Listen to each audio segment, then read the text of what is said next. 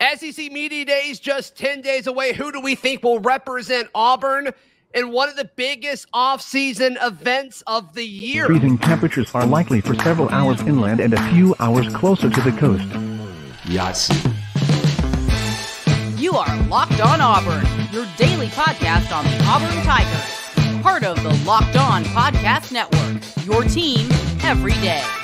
Yes, welcome on into Locked On Auburn, your daily Auburn Tigers podcast. I'm your host, Zac Blackerby, and thank you so much for making Locked On Auburn your first listen every single day. Joining me as he does often on the show, the everydayers know him, Darrell Dapprich, Montgomery radio veteran and the most handsome man on the planet.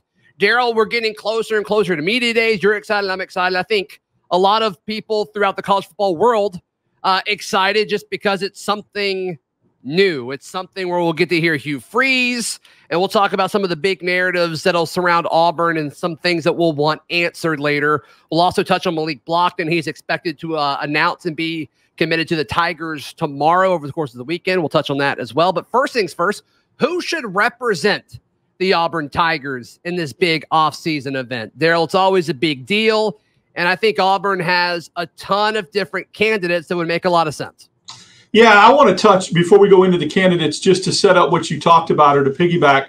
You know why SEC Media Days is such a big deal here, and especially with down south and in this area, is because it really signifies the kickoff, unofficial kickoff of college football season. Sure. It's amazing to me that every year the hype just seems to grow and grow, except for maybe last year a little bit from an Auburn perspective with the sellout situation in season tickets and yeah. that record deal that happened. It's why we're seeing this fever pitch. So I think this is, it wouldn't be too much of a stretch to say this is one of the largest and most anticipated SEC media days for Auburn fans because of that and because of getting to hear Hugh Freeze. So it is very important when you're talking about how special this one is, who Auburn brings. So I think that you know it's fun to always speculate to kind of see how close you are.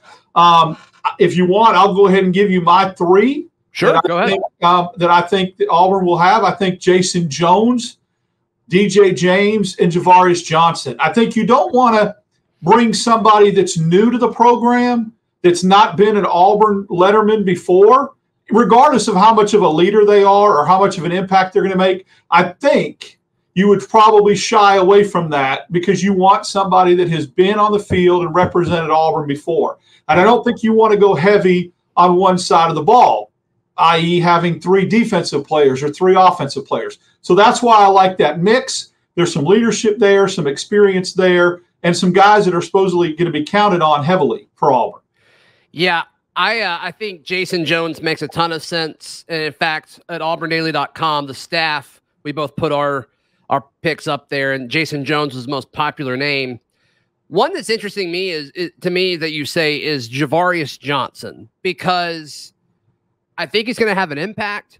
Heck, he could be a candidate to be a breakout player this year, just with the way, you know, I, think the scheme is going to help him. And you've talked in the past about the addition of Rivaldo Fairweather being big for Ja'Varrius Johnson. There's just more to worry about in the middle of the field for defenses now than there used to be um, with what Hugh Freeze and Philip Montgomery we think is going to do to the offense. So it makes a lot of sense. I just we've never really heard about him being a leader. We've never heard anything to the contrary either. I'm not saying that he's not, but we just haven't ever really heard that. And so a lot of this is you know when when when coaches pick who's going to represent them in the program at media days, a lot of it has to do with leadership. You know, I asked Hugh, Freeze, a few weeks into spring, you know, who were the leaders that that you know have st- stood up, and like he didn't mention anybody in the wide receiver room. So I was a little surprised you said Ja'Varrius Johnson. You know, it's funny. Great, great points, and I love um, d- you know the deep dive as to why. And I hate to say this in a disrespectful way, but it was almost by default because I felt like you had to have an offensive representative. I'm with you. Well, maybe you don't, but who on the offensive line? Everybody is newcomers, right? If you go to the quarterback position, allegedly newcomer. You look at the other wide receivers, newcomers. And then, I mean, you know, I don't want to have to say it, the elephant in the room, maybe it would have been Jarquez Hunter. But probably not some of the things that happened, you know, allegedly in the offseason, that's not necessarily maybe something that that you do. So from a running back room standpoint, you you've got really nobody with experience other than Hunter. Uh, receiver, I think Johnson starts. I think he starts in the slot. Yeah. Won't this be his fourth year at Auburn? I believe. Um, Sounds right. so that's why, and it's almost by default. uh, And they could take three defensive players, or they might only bring two uh, players totally. I've seen that happen before. They took two during the COVID year. I think every other year it's been three. So I think we're expecting three this year. The I, I think Tate Johnson would go before Ja'Varrius Johnson would. Hmm. Interesting. Uh, You know, I guess it, it, it's that old adage: Would you bring somebody that you're not counting on to be a starter or a high? see, I mean, the year that, like you talked about, they brought two. They brought Bo Nix and Owen Pappoe. So, I mean, I don't know. I don't know the fo- look. Every coach has a different formula or blueprint on who they want to take. That's right. true. So it, maybe Hugh Freeze doesn't look at the fact that someone's not have not has not played a, a snap at Auburn yet, and he looks at how they've asserted themselves in the short time they've been here as a leader. Maybe you mm-hmm. could be a leader and not necessarily start. There's all different variables to that, and we'll see. We'll know what his you know how he's thinking and what his line of thinking is when it gets announced. And we saw, you know, Chandler Wooten be voted team captain, and he wasn't technically a starter because Yeah. until Owen went down, he had to play a lot more. Then he became one. But yeah, you're right. I mean, you, everybody's criteria is going to be different. I just think it's interesting, and this was months ago, right? This was a while ago. The roster is literally like 50% different than it was when we asked this question. But, you know, the, the first guy out of his mouth was Tate Johnson, which is Mhm. telling. And Tate was the topic of a few questions prior to that too. So like Tate could have been on you know the, the forefront of Hugh's mind when he answered that question. Then it was Jason Jones. We both agree. I think Jason will be there. He was the most popular answer of the Auburn Daily staff. And then he said the entire tight end room. And to your point, like I don't think he'll take Rivaldo Fairweather just because he's new, he's a transfer. But Luke Deal was one of my three that I said. I said Jason Jones, Rivaldo Fairweather, and DJ James. So we agreed on two of them. We're differing on the offensive player. No, But I you said deal, deal, not Fairweather, right? I said deal. Deal, yeah, yeah. Just, just because he talked about them being leaders in the room. And I also think, you know, he, I think he'd represent Auburn well. I think he's solid. I think culturally is what Hugh Freeze wants. Not that any of these guys aren't, but he's just been here. He's been in the program. And like you said, I agree with you. Unless he wants to just really stick his chest out and bring the quarterback, bring the new quarterback, I, I think Luke Deal makes sense. Don't you think it would be telling and the and, and the suspense is over if he was to bring Payton Thorne to Let's SEC talk about this in a second, Darrell. Let's talk Yeah. about this. What happens if Hugh Freeze brings Payton Thorne to media days? We discuss in just a moment, right here on Locked On Auburn. Today's show brought to you by our friends at FanDuel. You take your first swing at betting on MLB uh, on FanDuel. If, if you do that, wow, I butchered that. If you do that, you get 10 times your first bet in uh, bonus bets up to $200. So if you bet 20 bucks, Darrell, you get 200 back, win or lose. That's what they call a win win situation in the business. There's no reason not to hop over to FanDuel. And look, it's all on an app and a website that's extremely safe, super easy to use, very, very secure with your money and your information.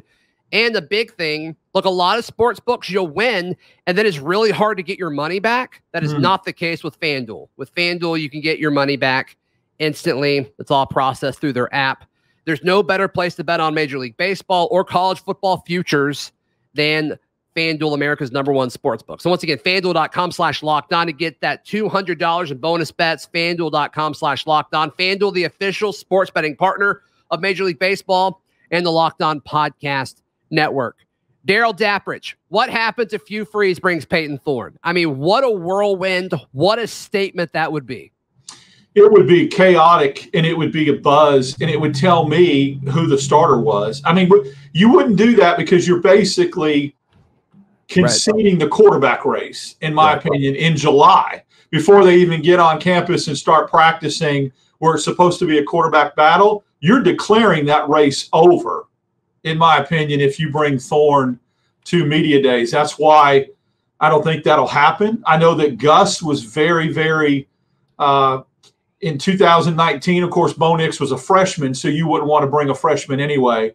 Uh, but it, it's just interesting uh, how that all works out because if you, like I said, if you do it, you're declaring who your starter is. The race is over, suspense well, is over, drama's over. Well, we talked about this last year where it's like, but remember at this time, we were all hyping up Calzada, right? Right. It's like, what if he just brought Zach Calzada? What a statement that would be. Obviously, that's a laughable thing now, but it was discussed. I think it's somewhat similar. I think we feel a little bit better about Payton Thorne than we do Zach Calzada, but still, like it, it'd be a similar type conversation um, and it also sounds like Payton's really just winning folks over left and right based off of whoever he talks to. And like he's thrown to the receivers and like Robbie's not there. Like I, I do think it's a little bit different. I do think it's a little bit different. It would still surprise me. But man, you talk about kind of like Hugh Freeze just go ahead and sticking his chest out and saying, oh. This is my dude. Like, yeah, it'd make national news. And you know, I mean, you just talk about like Hugh Freeze coming because the the biggest narrative, and he's going to be asked this on every radio show he goes on Coach, what's it like to be back at SEC Media Days? Like yeah. he's going to answer that question a million times um, when he would go. I guess I think he's on Tuesday. Like and, and like, what better way to be reinstated and say I'm back by like really making the the, the national headline of saying yes, Payton Thorne's my quarterback. It'd be the big. It'd be the second biggest declaration uh, in the month of July that we've celebrated. Right, the first nice. being July Fourth and then this one, um, it would be. That's exactly what it is. It would be an announcement. It'd be a pronouncement. It'd be a declaration of, I'm back. Here's my quarterback. Deal with it. Um, but I don't think he'll go that route. And I don't. And I don't think he'll go that route because I don't think he wants to alienate Robbie Ashford. And I think he does want this to be a, a job that, even though he's got his sights set on Payton Thorne, yeah. I think he wants there to be an appearance of a real quarterback competition because I've said this before, and I'll keep beating the drum he's going to use Robbie Ashford in certain situations. I, I, feel like he is. And I know some people disagree with me, but I think there will be packages for Robbie Ashford in certain sure. areas of the field to keep him engaged and to use his certain skill set, the dynamic of his legs and that type of thing, that he'll use Ashford. And I think that's a good move. I think as long as Ashford takes care of the football and is heady with the reads and what he's supposed to do, he will get some packages for him. You don't want to alienate him if you're wanting to do that later on. And regardless of if he brings a quarterback or not, that's still going to be the biggest kind of conversation around whoever is coming and representing Auburn at media days, whether it's Freeze, whether it's the three players, there, if especially if whoever is on offense. It's like, so what are you thinking about the quarterback situation? I mean, it's going to be that. It's going to be timeline. That was a big thing with Bryan Harsin last year that I got to ask him, you know, what about the timeline? What's the goal here? Um, so, I mean, to me, regardless of who you bring, it's still all about the quarterback battle. It is. And I think I would, you know, the, the, the easy question and the lazy question to me is how's the quarterback competition coming along? What's, you know, not saying that asking about timelines lazy, but that's going to be asked a lot. I would love to do a deep dive and say, okay, give me specifics of how Payton Thorne has acclimated to the Auburn atmosphere and endeared himself to his teammates. I want mm-hmm. specific examples. Yeah. How is how how is he commanding the room? What is he doing to be a leader and to have those guys follow him? And I'd love to hear specifics about that. I think that's the biggest narrative.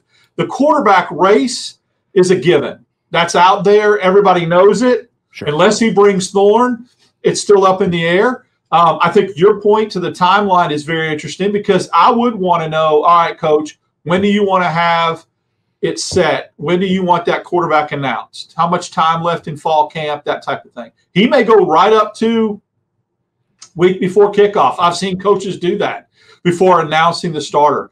But I want to know specifically what Payton Thorne has done since he's been here, since he's been here for almost two months at the time of SEC Media Days to acclimate himself to the coaches, staff, and players. I'm with you. I'm with you on that. Uh, other other kind of narratives that you think will be discussed? Yeah, I think that the players, not you wouldn't ask Hugh Freeze this, and you wouldn't even really ask maybe some assistant coaches this, but it'd be interesting to ask the players give me the one dominant, noticeable difference in culture and the way things are run since Hugh Freeze has stepped on campus. Mm. Tell me what is the most noticeable trait or, or the biggest thing that you can tell from a culture standpoint that's changed with Hugh Freeze being here. And I think it would be telling and interesting. Number one, to hear if different players have different takes. Sure. But if there's like a common theme, like if they're like, hey, he's engaging, he's with us constantly, the communication, open door, he's accessible, the way he interacts with recruits, you know, our strength and conditioning has taken a whole different level. All those kind of things. I, I, I really want to see what the players say about what the biggest difference culturally is since Hugh Freeze stepped on campus. Not not the whole coaching staff. I want to know Freeze in particular and how he what he has done to change culture, what they've noticed as, as far as the biggest difference. Do you think any national people try to bring up how his tenure at Ole Miss ended? Absolutely. It's going to be look. If, if, if, if local beat writers went after Harsin for vaccination status in 2021, you're going to have national guys, especially guys from the Clarion Ledger in Jackson and Mississippi and some of those other places, absolutely ask. Now, I don't know if it'll be in a one-on-one setting because I don't think Hugh Freeze will necessarily go on other you know shows that are have to do that's not Auburn, but at the no, podium, I think it'd be at the podium. Setting. At the podium, yeah. Yeah, you'll have that. Someone's going to ask that question. They're going to ask what he's learned from the mistakes he's made, and if he's you know the same song and dance, and and and it'll be the usual suspects that ask it. I hope that Auburn's media, which you don't want to stifle anybody or censor anybody, they're allowed to ask whatever they want. I hope, hopefully, but I hope they're smart enough to not be Auburn's own worst enemy and bring that crap up. If somebody else from a national media perspective is going to do it, from ESPN or some kind of advocate that's going to say something, or another state run newspaper from Mississippi or Louisiana, okay, let them. I hope Auburn stays strictly to things that matter between the lines. That's all played out since he's been here. The Alabama media has had every opportunity to go down that tired road. I hope they go above board and stay high level and ask something that really is more important and, and, put their thinking caps on and not be lazy with that take. Yeah, I don't think Auburn media would do that because I mean they would they've had the chance to do that already, and some folks did it, you know, with uh, the opening presser, but that's kind of been it. So we'll see. No, uh, we'll see. We'll see. I, I, think it's hopefully it's more about more about football than yeah than anything else. But media days tends to not be about football all the time, which is a shame. We're going to try oh, to be about football though. We'll yeah. try to be about football. All right. Speaking of football, Auburn may get a great football player to commit tomorrow. We discuss who that is next, right here on Locked On Auburn. Want to encourage you to join the Locked On Auburn Discord. It is free. All you have to do is click the link in the episode description down below. Great access to me, to Darrell, to anybody that hops on the show. We're all in there. Would love to answer your questions. Malik Blocton, a uh, player that that I think is really, really exciting, and I think he's got a lot of upside when you look at what he could bring um, to the defensive line uh, during his senior season, which is of course coming up, Darrell. But he's expected to announce his school tomorrow. Auburn is leading, and really the only school that's got official predictions and crystal balls um, his brother is Marcus Harris, which of course is Auburn's defensive end slash defensive lineman. Blocton's going to play a similar role in his senior year of high school. He's 6'2, just shy of 270 pounds. Got another year of high school football to really grow and develop, which I think he's going to have pretty solid size. But to me, the thing I like the most about this, Darrell, is it's Auburn's first lineman on either side of the ball in the 2024 class. We, we need to get that ball rolling, and I think it starts tomorrow. Very important lines of scrimmage.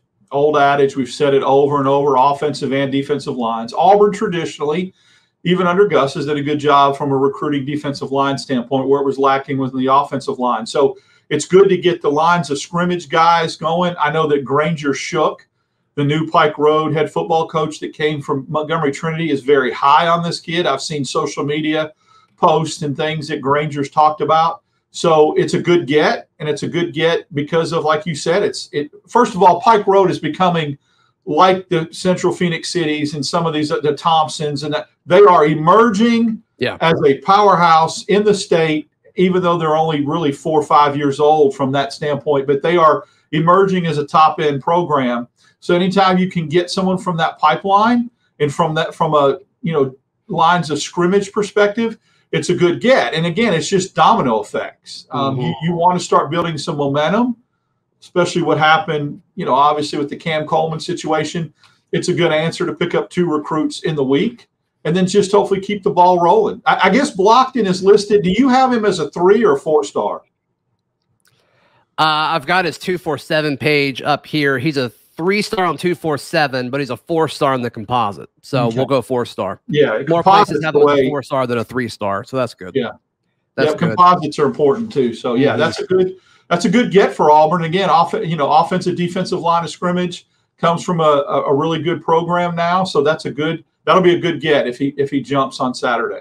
Yeah, I did a show uh, about several guys that I watched tape on in fact, the show is about Bryce Kane, D'Angelo Barber, and uh, Malik Blocton weeks ago, and we're about to add all three of those guys, assuming tomorrow goes the way it's supposed to. And these are just some of the notes. Primarily lined up a defense, did line up some of the three technique. Doesn't give up ground at the line of scrimmage. He always stood his ground. Um, uses his long arms to throw blockers. He had a good first step. And then the only negative is he can play high when he's blocked out of gosh, I can't read my handwriting out of the gate. So every now and then he'll he'll play a little high, but he's somewhat stronger than everybody. He'll be able to recap or to, to bounce back out of it. But I, I think he's a good player, and I think this is definitely just something that Auburn needs. You need as many defensive linemen and offensive linemen in this class as you possibly can, and it doesn't really seem like the defensive lineman in in the state of Alabama this year is as good as it normally is. It seems like it's very slanted towards other positions this year, which is going to happen. There's only so much you can do about it, but going out and getting a four-star in-state kid from an hour down the road, that's that's a win. That's a win no matter which way you put it. And I'll say this, having watched Granger Shook's teams for the last 3 years up close and personal, he's a defensive-minded head coach, very very good. His teams and his players are very good fundamentally. So maybe some of that stuff that, you know, we saw and Blocton with some of the notes gets cleaned up because Granger Shook is such a fundamentalist and such a good guy coaching fundamentals on the defensive side of the ball. Just just a thought. Just a thought. Does adding him help Hugh Freeze and his staff's pitch to Marcus Harris after the end of the season to stay another year? It depends. It's a great point, and, and I would say yes in in concept and in theory, but uh, it, all that gets and all that depends on what kind of year Marcus Harris has. Sure. If he really goes off and is a very good defensive end for Auburn, and and really just it's tough. The position he plays, though, statistically, he's not going to pop off the page, right? He's not going to get a lot of sacks, that kind of thing. He may get a lot of yeah, he may get a lot of tackles. So I don't know how much he can do to kind of improve his draft status. But if he does have a great year, and let's say he gets named to some second team, all defensive SEC teams, that kind That'd of thing, awesome. then that that changes the narrative. Then he probably goes. If not, this may be a little bit of a carrot to keep him. Yeah, yeah. Maybe make sure On To Victory takes care of him a little extra. You get to play with your brother for another year. Yes. That'd be awesome. That'd be a really nice silver lining in all of this. Darrell Dapprich, how can people check out everything that you've got going on, my friend? Follow me on Twitter, DAP6410. Interact in the Discord Monday morning, 710 with Ben Taylor on WANI. Absolutely. Follow me on socials at Z Blackerby, and you can read all of our work at auburndaily.com. We will see you tomorrow. This has been Locked On Auburn.